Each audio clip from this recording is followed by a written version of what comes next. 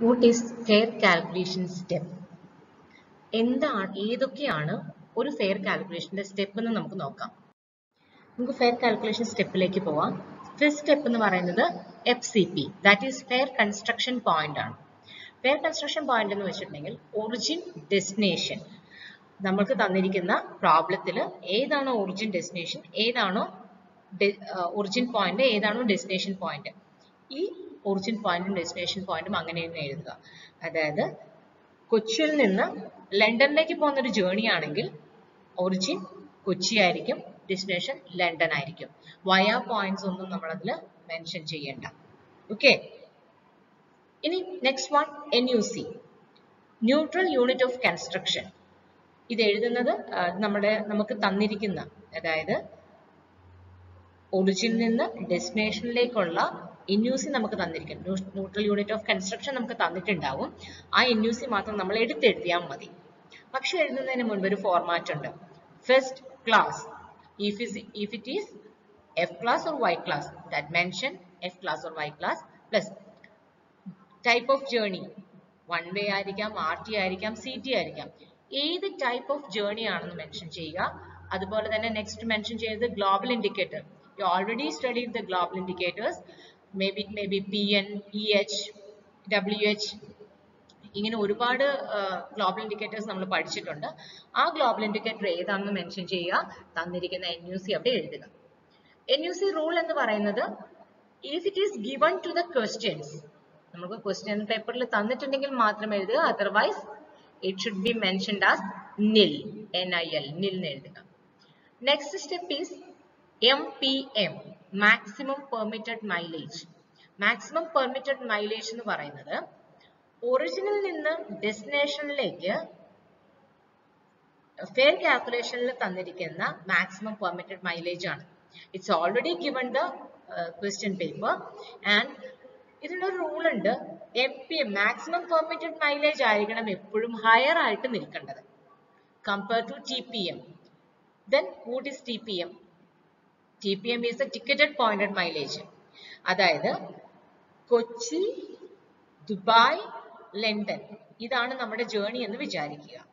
Okay കൊച്ചിയിൽ നിന്ന് ദുബായിലേക്ക് പോകുന്നു ദെൻ ദുബായിൽ നിന്ന് ലണ്ടനിലേക്ക് പോകുന്നു. അങ്ങനെയെങ്കിൽ ടിക്കറ്റഡ് പോയിന്റഡ് മൈലേജ് എന്ന് പറയുന്നത് ഓ ടി പി എം എന്ന് പറയുന്നത് first sector Kochi to Dubai first sector അതിനൊരു ടി പി എം സെപ്പറേറ്റ് ഉണ്ടാകും.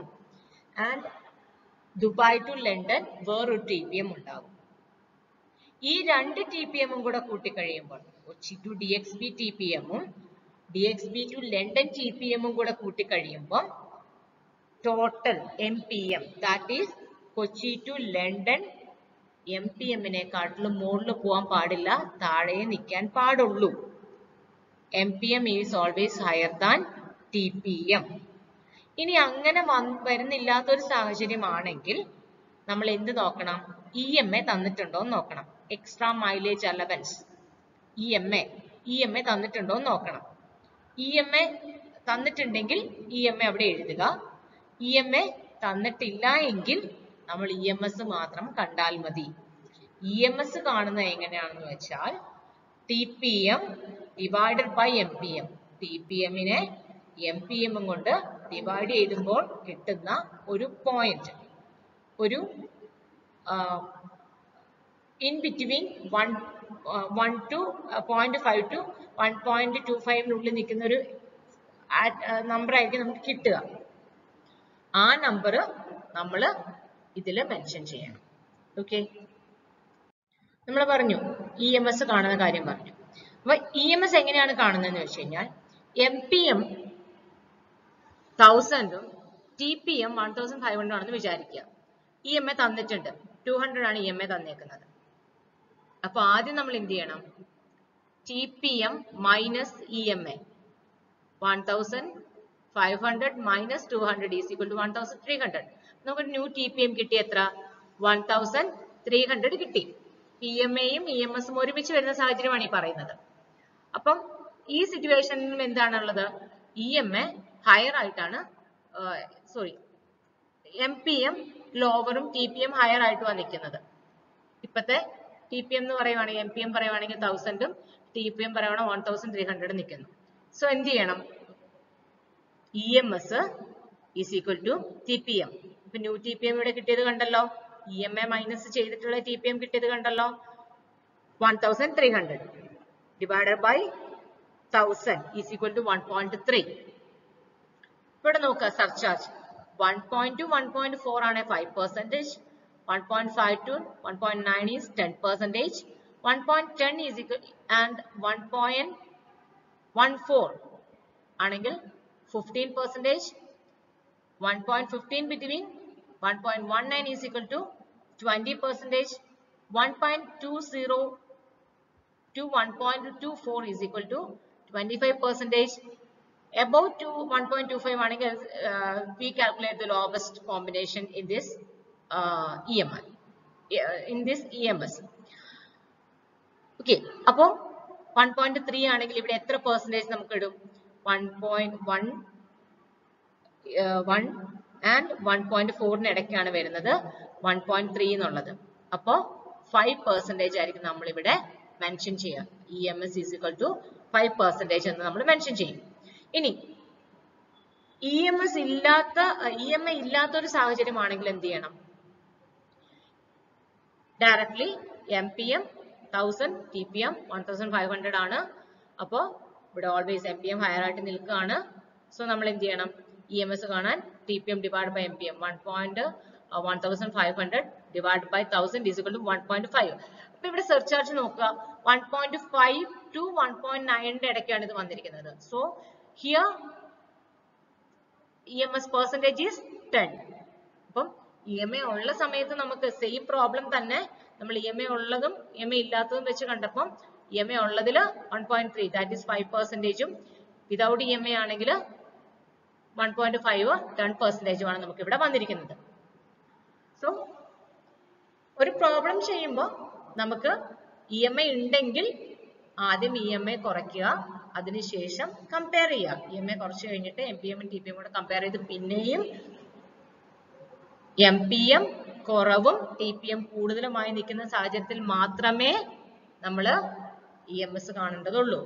ഇ എം എ ഉണ്ട് എങ്കിൽ അതല്ലെങ്കിൽ M P A M P M ഹയറും T P M ലോവറും ആയിട്ട് നിൽക്കുകയാണെങ്കിൽ direct we can calculate the E M S next step എന്ന് പറയുന്നത് എച്ച് ഐ പി ആണ്.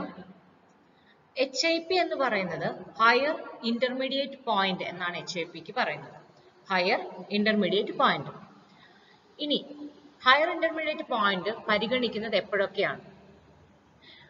Origin intermediate stop over intermediate stop over to another stop over intermediate stop over to destination ഇതാണ് നമ്മൾ ഒരു origin ഡെസ്റ്റിനേഷനിൽ ഹയർ ഇന്റർമീഡിയറ്റ് പോയിന്റ്സ് ആയിട്ട് പരിഗണിക്കുന്നത്.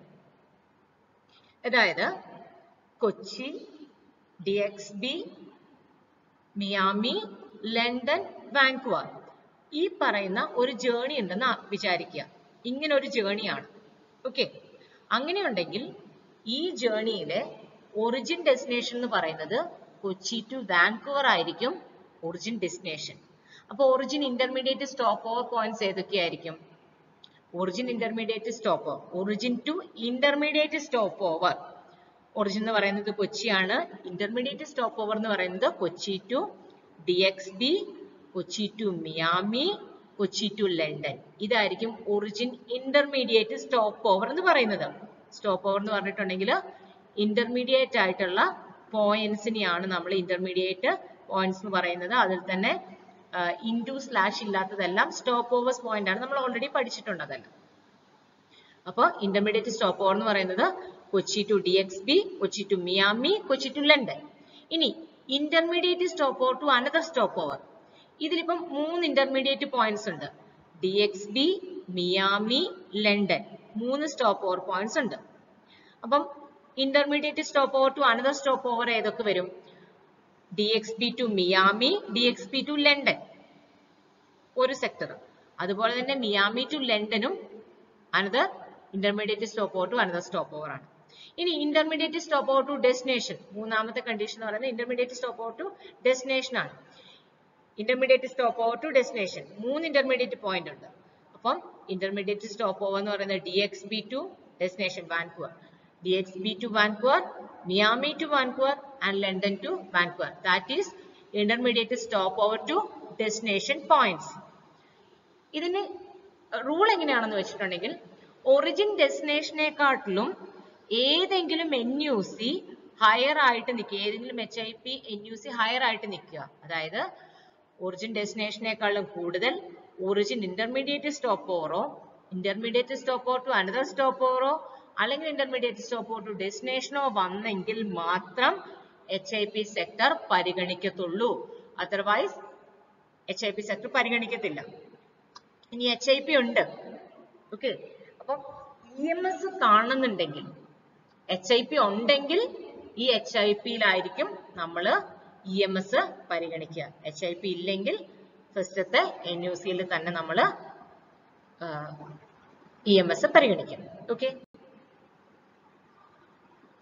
H I P rule ഉണ്ടെങ്കിൽ അത് എഴുതുക. ദെൻ എഴുതേണ്ടത് applicable fare if it is H I P H I P ഉണ്ടെങ്കിൽ ആ ഫെയർ ആയിരിക്കും നമ്മൾ ആപ്ലിക്കബിൾ ഫെയർ ആയിട്ട് എഴുതുന്നത് if it is there is no H I P or any other sectors നമ്മൾ ആദ്യത്തെ എഫ് സി പി തന്നെയായിരിക്കും ഇവിടെ എഫ് ആയിട്ട് എഴുതുക. Then B H C backward check backward check apply ചെയ്യുന്നത് എവിടെയാണ്? ഒറിജിൻ ഡെസ്റ്റിനേഷനെക്കാട്ടിലും കൂടുതൽ ഒറിജിൻ ഇന്റർമീഡിയറ്റ് സ്റ്റോപ്പ് ഓവർ വരികയാണെങ്കിൽ മാത്രം അവിടെ ബാക്ക് ഹോൾ ചെക്ക് അപ്ലൈ ചെയ്യും. ഒറിജിൻ ഡെസ്റ്റിനേഷനെക്കാട്ടിലും കൂടുതൽ origin intermediate stopover point N U C വന്നാൽ മാത്രം നമ്മൾ അവിടെ ബി എച്ച് സി അപ്ലൈ ചെയ്യും. B H C not applicable ആണ്. ഏതൊക്കെ സിറ്റുവേഷനിൽ within T C one T C one എന്ന് പറയുന്നത് North America Central America and South South America North America Central America and South America ഈ portion ആണ് T C വണ്ണിലുള്ളത് Caribbean islands also ഇതിൽ മാത്രമാണ് ഒരു ജേർണി വരുന്നതെങ്കിൽ ബി എച്ച് സി അപ്ലൈ ചെയ്യത്തില്ല. Between South Atlantic sub area that is A B C P U countries to T C two A B C P U countries എന്ന് പറയുന്നത് T C വണ്ണിലുള്ള area ആണ്. A B C P U countries to T C two ആണെങ്കിൽ T C two ആണെങ്കിൽ നമ്മൾ B H C apply ചെയ്യത്തില്ല. D C two എന്ന് പറയുന്നത് യൂറോപ്പ് മിഡിൽ ഈസ്റ്റ് ആഫ്രിക്ക. ഇതാണ് T C two and A B C two countries ആണെങ്കിൽ നമ്മൾ ആ ജേണി പരിഗണിക്കത്തില്ല. പ്രൈസിംഗ് യൂണിറ്റ് വിതിൻ യൂറോപ്പ് മാത്രമാണെങ്കിൽ that means origin destination within Europe ആണെങ്കിൽ നമ്മൾ ബി എച്ച് സി പരിഗണിക്കത്തില്ല. ബാക്കി എല്ലാ സെക്ടറിലും നമ്മൾ ബി എച്ച് സി പരിഗണിക്കും. ഇനി എങ്ങനെയാണ് ബി എച്ച് സി പരിഗണിക്കുന്നത്? Higher N U C that is over other than B H C not applicable within T C one area between South Atlantic sub-area or ABCP countries to TC2 and pricing unit within Europe.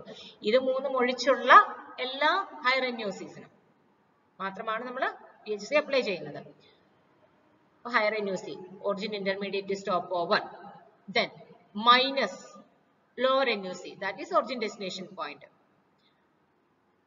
higher ന്യൂസിൽ നിന്ന് lower ന്യൂസിൽ കുറച്ച് കഴിയുമ്പോൾ നമുക്ക് കിട്ടുന്നതിനെ നമ്മൾ എന്ത് പറയും? Backward difference or B H D എന്ന് പറയും. ബി എച്ച് ഡിയുടെ കൂടെ പിന്നെയും ഒന്നും കൂടെ നമ്മൾ ഹയർ ന്യൂസിൽ ആഡ് ചെയ്യണം. അപ്പൊ നമുക്ക് ഒ ഡബ്ല്യു എം അല്ലെങ്കിൽ വൺ വേ മിനിമം ഫെയർ കിട്ടും. ഈ വൺ വേ മിനിമം ഫെയർ ആയിരിക്കും ബി എച്ച് സി ആയിട്ട് നമ്മൾ അപ്ലൈ ചെയ്യുന്നത്. ഈ വൺ വേ മിനിമം ഫെയറും എ എഫും കൂടെ കമ്പയർ ചെയ്യുക. അതിൽ ഏതാണോ ഹയർ എൻ വരുന്നത് അത് നമ്മളിവിടെ അപ്ലൈ ചെയ്യുക. ദെൻ ടോട്ടൽ ഫെയർ കാണുക. ടോട്ടൽ ഫെയർ എന്ന് പറയുന്നത് നമുക്ക് ഇതുവരെയും കിട്ടിയിരിക്കുന്നതിൽ ഏറ്റവും വലിയ ഫെയറിനെയാണ് നമ്മൾ ടോട്ടൽ ഫെയർ ആയിട്ട് കൺസിഡർ ചെയ്യുന്നത്. Then I R O I R O means international rate of exchange തന്നിരിക്കുന്ന ഐ ആർ ഒ റേറ്റ് എത്രയാണെന്ന് മാത്രം ഇവിടെ മെൻഷൻ ചെയ്യുക. And L C F local currency fare അത് കാണുന്നത് എങ്ങനെയാന്ന് വെച്ചാൽ I R O into total fare ആയിരിക്കും നമ്മൾ എൽ സി എഫ് ആയിട്ട് കാണുക. I R O into L C F നമുക്ക് കിട്ടുന്ന എമൗണ്ടിനെ നമ്മൾ കറൻസി കൺവേർഷൻ യൂണിറ്റ് വെച്ച് റൗണ്ട് അപ്പ് ചെയ്ത് എഴുതുക. This is the fare calculation step